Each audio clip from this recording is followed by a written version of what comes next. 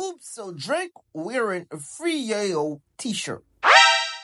That's right, the same t-shirt Eminem wore back in the days to support Tony Yayo when he was locked up.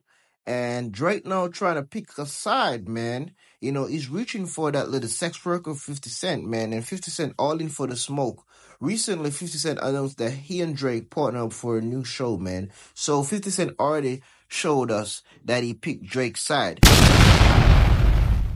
On another note, Tony Yayo is a genius, man, because he already done created a merch after, you know, Drake posted that new photo with free Tony Yayo. So if you go on Tony Yayo Instagram page, you can see the official link to his merch. You can support him, man, because there's no hate towards, you know, none of these men, you know. I don't hate them. I troll them, but I don't hate them, man. So support the brother, man.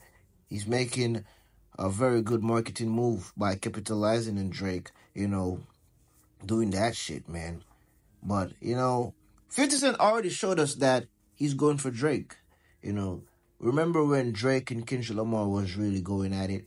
You know, I saw that 50 Cent was more on Drake's side when he was making those Instagram posts. I don't know, if y'all realize, but I, I, I, I sneaked that, man, and now it's even more proven, man it's even more proven that 50 Cent messed with Drake more than Kendrick. He probably going for Drake because Drake is more corporate. You know, 50 Cent just all in for the bag. So he just would ride Drake until he come, man. That's that's some real gay shit, but that's how I see it, man.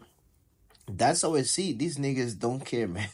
These niggas is all about making a billion before they're 40 or 50. So they niggas don't care, man. But it is what it is. You know, it is what it is. Of um, skeletons. Favorite song? Uh, my eyes. Okay, okay. Bro, love you.